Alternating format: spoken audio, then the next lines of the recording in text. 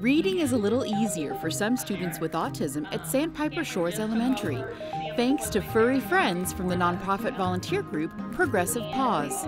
Well, they make me calm and happy. They help us learn more, more to, to write and read. Students are making strides and achieving reading level goals.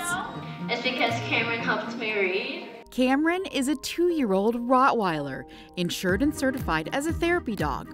She visits students every week to give them extra motivation, confidence, and a listening ear.